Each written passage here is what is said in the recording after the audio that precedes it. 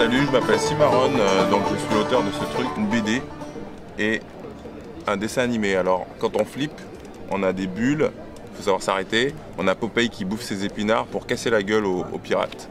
Alors Popeye Boy, c'est la jeunesse supposée de Popeye. Popeye euh, veut séduire Olive, mais Olive elle préfère les pirates, donc il va devoir euh, devenir un méchant pirate. Il va faire tout un tas de trucs, il va se battre euh, avec les pires euh, racailles euh, des mers.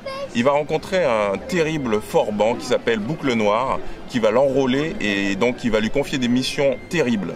Il va devoir combattre des cyclopes, des géants, des titans pour le compte de ce pirate terrible. Et puis donc, comme c'est une invention, c'est une BD animée, ça veut dire que c'est de la- l'animation, il y a des combats, il y a tout ce qu'il faut pour les petits, euh, à partir de, on va dire, 6 ans, allez, on peut même dire que c'est à partir de, de 3 ans, puisqu'il y a de l'animation, on peut comprendre l'histoire sans forcément lire les bulles.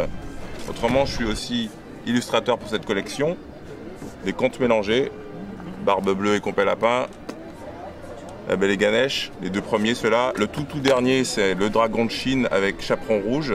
Autrement, les Corrigans de la Bretagne avec Blanche-Neige. Alors, la Bretagne, forcément, je suis venu ici, j'ai rencontré un tas de monde, c'était génial.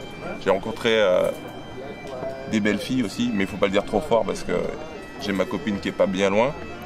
Je suis venu avec ma petite gamine aussi qui a 18 mois, qui est trop mignonne, mais qui a pas arrêté de, gueuler. C'est pour ça qu'elle est partie avec. Voilà, donc euh, je vous dis à bientôt et bon festival. Salut